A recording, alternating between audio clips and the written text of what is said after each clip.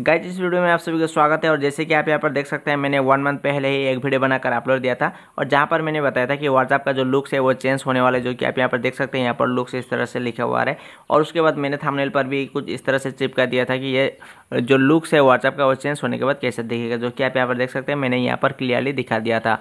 लेकिन ये जो लुक्स है, ये तब चेंज नहीं हुआ था, ये अपकमिंग अपडेट मैंने आपको बताया था, लेकिन आज के इस वीडियो में मैं आपको लाइव प्रूफ दिखाऊँगा, क्योंकि ये जो व्हाट्सअप का लुक्स है, ये अभी चेंज हो गया है और मुझे मिल भी गया है। तो आज के इस वीडियो में पूरा स्टेप बाय स्टेप दिखाऊँगा और उसके साथ साथ अगर आपने इस चैनल को सब्सक्राइब नहीं किया तो चैनल को प्लीज़ जल्दी से जल्दी सब्सक्राइब ज़रूर कीजिएगा, क्योंकि यहाँ पर मैं व्हाट्सअप से रिलेटेड इसी तरह का टिप्स एंड ट्रिक के साथ साथ जो भी न्यू न्यू अपडेट आता है, वो सबसे पहले मैं आप लोगों के साथ शेयर करता रहता हूँ। तो चले वीडियो शुरू करते हैं। तो जैसे कि मैंने आपको बताया व्हाट्सअप का जो लुक्स है वो चेंज हो गया तो वो देखने में कैसे दिखेगा, मैं आपको यहाँ पर दिखा देता हूँ। तो उसके लिए मुझे क्या करना है, सबसे पहले तो व्हाट्सअप को ओपन करना है और ओपन करने के बाद आप यहाँ पर देख सकते हैं। यहाँ पर कुछ पहले इस तरह से नहीं आता था, लेकिन अब आप यहाँ पर देख सकते हैं। पहले यहाँ पर ऊपर यहाँ पर चार यहाँ सबसे पहले तो कम्युनिटी आता था, उसके बाद चार्ट चार्ट्स उसके बाद स्टेटस और उसके बाद यहाँ पर कॉल्स आता था। लेकिन अब यहाँ से सभी रिमूव हो गया है। सिर्फ़ यहाँ पर कैमरा और ये जो फाइंड करने का ऑप्शन है, ये है और उसके बाद थ्री डॉट है। और ऊपर कुछ भी नहीं है। आप यहाँ पर देख सकते हैं, मैं नीचे की तरफ़ स्क्रॉल कर रहा हूँ, लेकिन कुछ भी नहीं आ रहा है।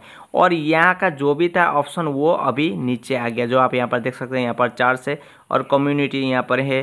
और अगर आप स्टेटस देखना चाहते हैं तो आपको यहाँ पर क्लिक करना है और उसके बाद स्टेटस आ जाएगा। और उसके बाद कॉल्स पर क्लिक करने के बाद कॉल्स का सभी यहाँ पर डिटेल्स आ जाएगा।